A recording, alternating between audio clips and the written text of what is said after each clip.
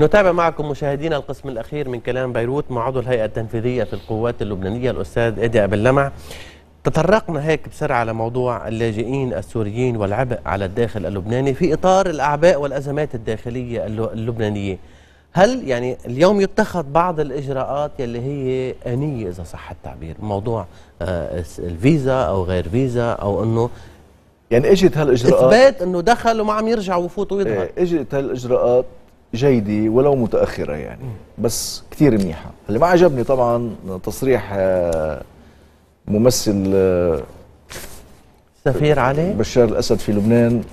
سفير علي إنه لازم هيدي الفيزايات تنعطى بالتفاهم بين البلدين أو بالهيدا يعني بعد بدهم يتدخلوا بقصة الفيزايات يعني.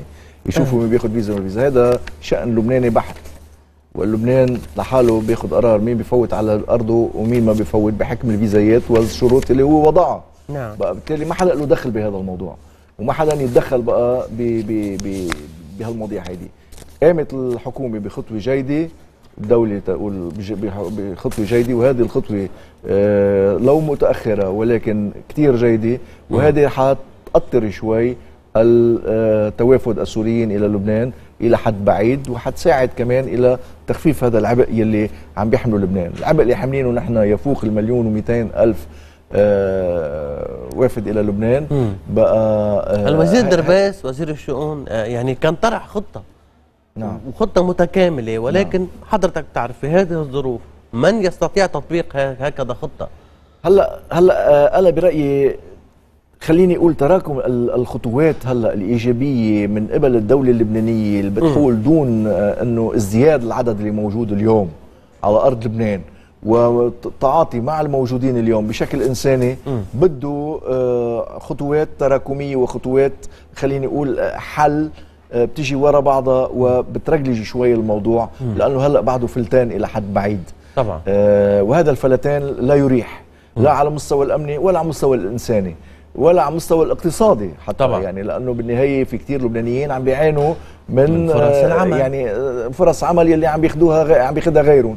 okay بعنوان إنه انتبهوا في وضع إنساني وكذا okay في وضع إنساني دون شك نحن منا ضد الوضع الإنساني لاحق الكل لاحق الكل آه. ولكن كمان مقيمين ولا هذا؟ الموضوع ما بدنا إنه يوصل إنه يلحق ضرر باللبناني بشكل مباشر وهذا ما يعني يحدث اليوم.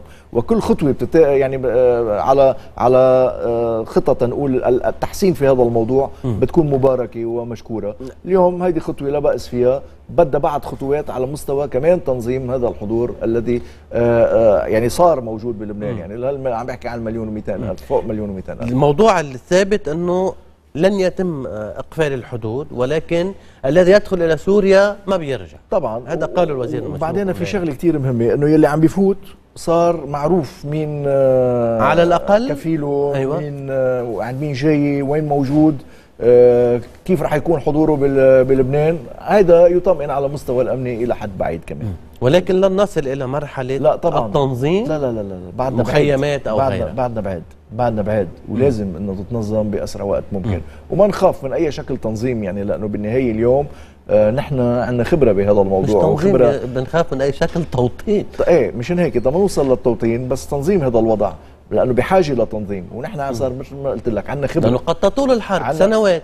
شو بصير؟ خبرة 30 سنة وبالوضع ال- يعني الفلسطيني السابق. صار معنا صرنا نعرف كيف ما هو الانتشار في كل طبعا المناطق صرنا نعرف يختلف. كيف نتعاطى مع هذا الملف. صرنا نعرف يعني ما نقول والله هذا برجع بذكرنا لا. في في حلول ممكن تلاقي. لو بتذكرنا بأوضاع معينة نعم. ولكن اليوم في دولة اليوم في في في إطار مختلف تماما عما كان عليه من 30 و35 سنة و40 سنة و45 سنة. أنا برأيي صرنا واعيين على خطورة التوطين وعلى خطورة آه، إنه اللي اجى ما يرجع على بلاده بيوم من الأيام لأنه ظروف بلاده. حتى لو باقي تحت حتى لو باقي، كيف لازم يوصل بوقت من الأوقات إنه يعود إلى بلده لمن آه، يرجع الأمان لضيعته لبلدته ولكن بوقت الحاضر لازم ما نخاف إنه نحط حلول ولو كان بشكل أوقات هيك بتنقز بس أنا برأيي. الوضع الحالي هو الأكثر خطورة. خطورة. نعم.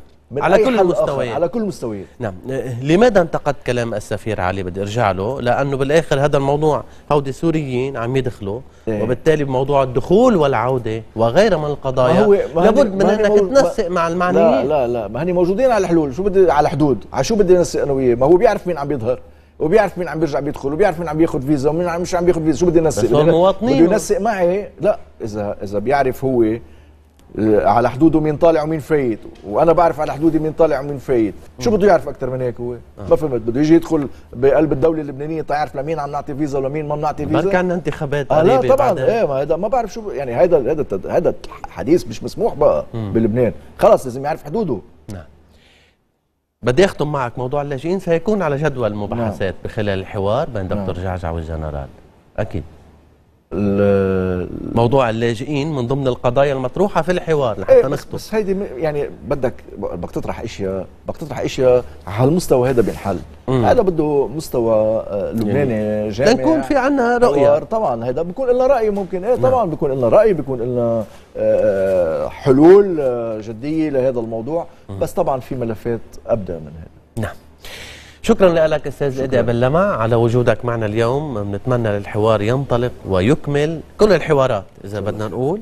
ويعني بنتم... إنه كما ذكرت بعد الأعياد أن نرى شيء جديد آه، في هذا الإطار. الشكر للمشاهدين على المتابعة. إلى اللقاء.